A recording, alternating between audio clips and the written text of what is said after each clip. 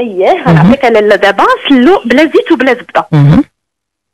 عندي هنا كيلو ديال الدقيق محمر في الكوكوت اولا كل سيدة داكشي اللي بغات كيلو ديال الجنجلان نص كيلو صاين سناء مهم. ونص كيلو مطحون بحال بقى كيرجع داير بحال املو ولا بحال إيه. الطحينه مهم.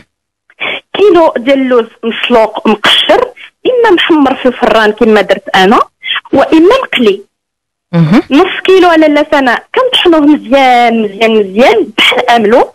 ونص كيلو كيبقى آه مهرمش. مهم. 150 غرام ديال العسل اولا السكر كلاصي وكل سيدة كتزيد تنقص العسل على حسب الذوق إيه. ديالها. باكية صغيرة ديال الشكلاط بودرة اللي كيعطي لون رائع في, في, اللون اللي بغى يديرو اللي بغى يستغني عليه داك الشيء كيبقى اختياري. إيه. أربعة ديال المعالق كبيرة ديال القرفة مطحونة.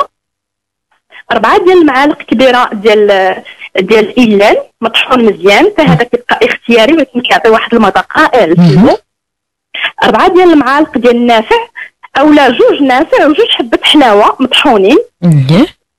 أربعة ديال المعالق زرعة الكتان إما مهرمشة أو مطحونة أو صاينة كل واحد وكيف ما بغى. مهم. معلقة كبيرة ديال الكروية. قرصة ملح. نص معلقه ديال المسكه حرة مطحونة مع القليل من السكر أو مع الفاني. إيه. واضحة لاله إيه واخا. في قطعه اولا في عجانة. غادي نخلطوا جميع المكونات ما عدا اللوز مهرمش والجنجلان صاين غادي نبقاو كنبسبسوا داكشي كامل بين اليدين ديالنا. وغادي نديوه للعطار ديالنا إيه. يطحنوا لينا واحد جوج حتى ثلاثة د المرات إما العطار وإما اللي كيطحنوا اللوز. جوج أو ثلاثة د المرات اللي ما بغى شي كيطحنوا بواحد الخلاط كهربائي عنده في البيت. كيطحنوا مزيان مع اللي مثلا الخلاط ديالو ما كيطحنش مزيان كيقدر يزيد معاه واحد جوج معالق الزبده غير باش كيسهل عملية الطحن. ياك آه كنديروا الكل اولا اللي ما عندوش مثلا كاع هذا الخلاط هذا كيدير الكل في العجانة كيخليوها تدلك مزيان تدلك تدلك تدلك مزيان حتى كيخرج داك الزيت داك الجنجلان داك الزيت كتخرج الزيت ديالو ياك. وفي آخر مرحلة للسماء كنضيفوا داك الجنجلان حتى كيكون داك الشيء طحون مزيان وكل شيء كنضيفوا داك الجنجلان اللي صاين. وداك اللوز اللي مهرمش.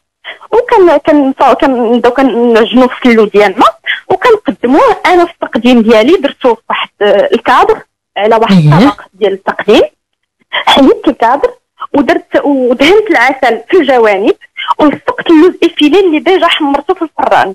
إيه ومن الفوق زوقته باللوز هكذا باللويزات فكيجي منظر راقي وشكل زعما جديد ما فعلا بريستيج كيعطي منظر على اللي كنشوفو دائما. آه exactement تبارك الله عليك الله يعطيك الصحة.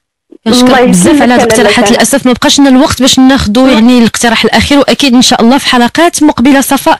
أم أروى أكيد إن شاء الله غادي ناخذوا هاد الاقتراحات ومازال تعطينا اقتراحات إن شاء الله ديال مملحات خاصة بشهر رمضان.